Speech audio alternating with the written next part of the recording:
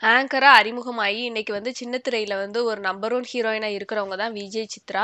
So Vijay Chitra வந்து கண்டிப்பாக வந்து எல்லாருக்குமே ஒரு பிடிச்ச ஒரு ஹீரோயின் தான். ஸோ இவங்க வந்து பார்த்தீங்கன்னா, இன்னைக்கு வந்து ஒரு ஸ்டார் ஹோட்டலில் வந்து சூசைட் பண்ணி இறந்துட்டாங்க அப்படிங்கிற ஒரு நியூஸ் வந்து பரவிக்கிட்டு இருக்கு. ஸோ இது வந்து பார்த்தீங்கன்னா, உண்மை அப்படிங்கிறத வந்து அஃபிஷியலாக சில நியூஸ் சேனலே வந்து அறிவிச்சிருக்காங்க.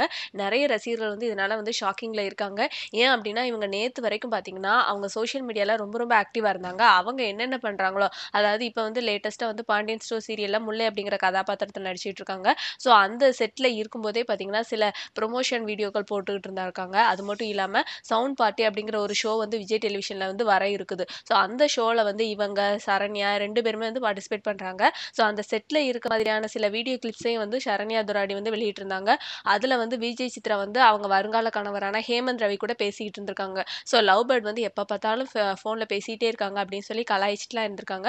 ஸோ அதுக்கப்புறமா தான் பார்த்தீங்கன்னா, அவங்க வந்து ஸ்டார் ஹோட்டல் ஹோட்டலில் வந்து தங்கி இருந்திருக்காங்க. அதுவும் பார்த்தீங்கன்னா, அவங்க வருங்கால கணவரான ஹேமந்த் ரவி அவங்க கூட இருக்காங்க. இதுக்கிடையில் பார்த்தீங்கன்னா, இவங்க இந்த ஒரு முடிவு எடுத்திருக்கிறது வந்து கண்டிப்பாக எல்லாருக்குமே ஒரு ஷாக்கான ஒரு நியூஸ் தான்.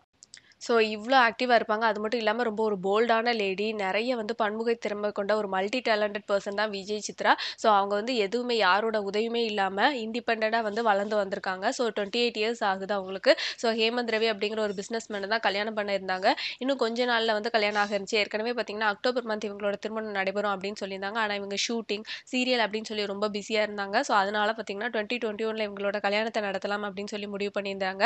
ஆனால் அதை பற்றி எதையுமே ரிவீல் பண்ணாமலே இருந்தாங்க. அது மட்டும் இல்லாம அவங்க வருங்கால கணவர் கூட இருக்க மாதிரியான புகைப்படங்களையும் வந்து பார்த்தீங்கன்னா, சோஷியல் மீடியால அவங்க தாராளமா வெளியிட்டிருக்காங்க. ஸோ இதுக்கிடையில நடந்தது வந்து நிச்சயமா எல்லாருக்குமே அதிர்ச்சி அளிக்கக்கூடியது. ஒரு போல்டான லேடி எப்படி இந்த மாதிரி வந்து ஒரு டெசிஷன் எடுப்பாங்க அப்படிங்கிறது. ஸோ விஜய் சித்ரா வந்து கண்டிப்பா எல்லாருமே வந்து மிஸ் பண்ணுவோம். அதுவும் பாண்டியன் ஸ்டோர்ஸ்ல முல்லை அப்படிங்கிற கதாபாத்திரத்துல பார்த்தீங்கன்னா, அப்படியே வாழ்ந்து இருந்திருப்பாங்க. ஸோ இவ்ளோ டேலண்டான ஒரு பொண்ணு, போல்டான பொண்ணு வந்து இந்த மாதிரி ஒரு முடிவு எடுத்திருக்காங்க.